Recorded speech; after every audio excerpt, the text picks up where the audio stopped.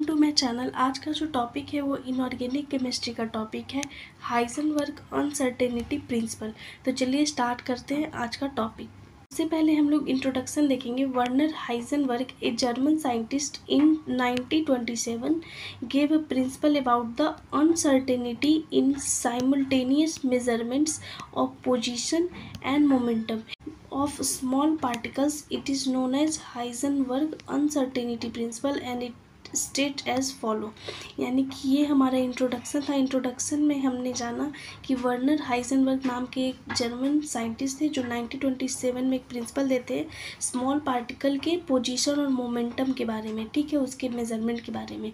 तो एग्जैक्ट जो ये प्रिंसिपल क्या कहता है? नीचे हम लोग देखेंगे, ये स्टेटमेंट है हाइजनबर्ग अनसर्टेनिटी प्रिंसिपल का।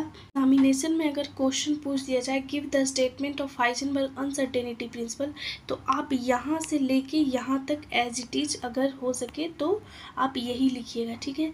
तो ये है principle it is impossible to measure simultaneously the position and momentum of a small particle with absolute accuracy और सर्टेनिटी कह रहा है कि यह इम्पॉसिबल है कोई भी स्मॉल पार्टिकल का पोजीशन और मोमेंटम एक साथ एब्सल्यूट एक्यूरेसी के साथ निकालना, ठीक है? If an attempt is made to measure any one of this two quantities with greater accuracy the other becomes less accurate कह रहा है कि अगर हम लोग ऐसा करते हैं, अगर मेज़र करते हैं इन दोनों क्वांटिटीज़ का, किसका? ये पोजीशन का और मोमेंटम का तो क्या होता है?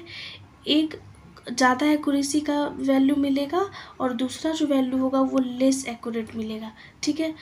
Then the product of uncertainty in position is delta X यानी कि यहाँ पे मैथमेटिकल फॉर्म को बताया गया है कि अगर हम कोई एक स्मॉल पार्टिकल है, ठीक है? लेट से इलेक्ट्रॉन है।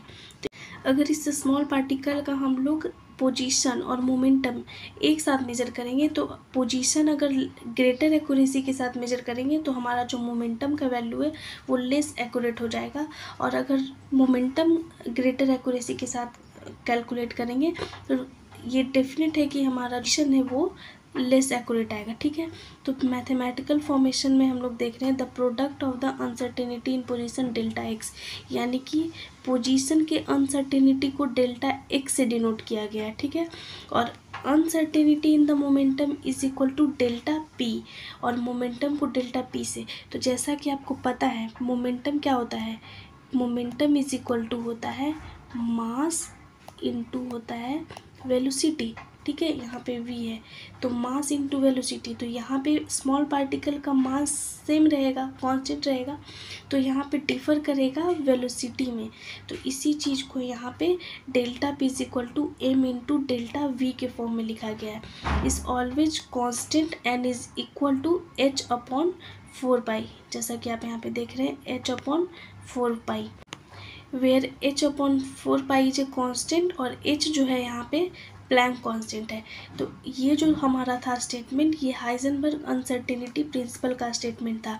तो समरी के फॉर्म में हम लोग देखते हैं कि अगर कोई स्मॉल पार्टिकल है, उसका अगर हम लोग पोजीशन और मोमेंटम निकालना चाहेंगे तो इम्पॉसिबल है एक साथ मेज़र करना विथ एब्सोल्यूट एक्यूरेसी ठीक है? अगर हम लोग ऐसा करते हैं तो एक वैल्यू ग्रेटर एक्यूरेसी के साथ आएगा तो दूसरा जो वैल्यू है हमारा लेस एक्यूरेट हो जाएगा।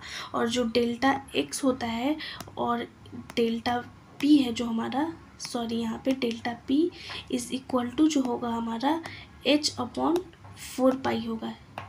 एच सॉरी ठीक है? तो ये delta X into delta P यानी कि पोजीशन एक्स को यहाँ पे पोजीशन से दिखाया गया है, और डेल्टा पी मोमेंटम इन दोनों का जो प्रोडक्ट होगा वो कांस्टेंट होगा और equal to H upon four pi होगा।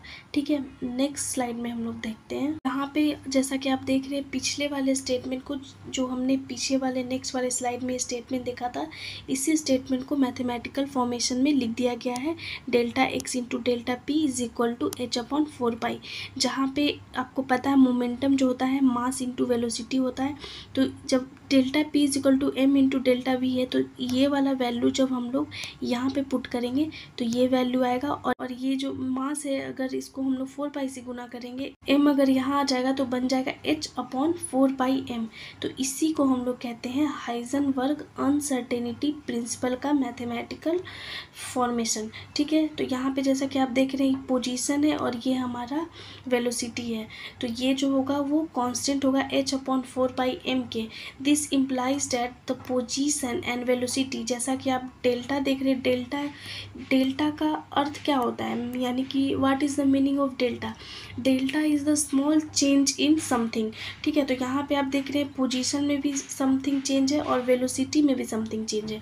तो इसी चीज़ को यहाँ पे लिखा गया है this implies that the position and velocity of a particle can not be measured simultaneously with certainty क्योंकि स्मॉल चेंज यहाँ पे आएगा ही आएगा। तो आज का जो टॉपिक है, वो यहीं पे ख़त्म होता है। तो एक बार हम लोग समरी के फॉर्म में देख लेते हैं कि आज हमने क्या क्या पढ़ा। तो सबसे पहले यहाँ पे हम लोग देखें इंट्रोडक्शन हाइजनबर्ग अनसर्टेनिटी प्रिंसिपल का। उसके बाद यहाँ पे स्टेटमेंट देखें कि स्टेटमेंट क्या कहता है। उसके बाद हम लोग देखें मैथमेटिकल फॉर्मेशन और ये हमारा आज का टॉपिक यहीं पे ख़त्म होता है। तो अगर आपको मेरा वीडियो अच्छा लगे तो ज़्यादा से ज़्यादा लाइक कीजिए शेयर कीजिए सब्सक्राइब कीजिए। Thank you so much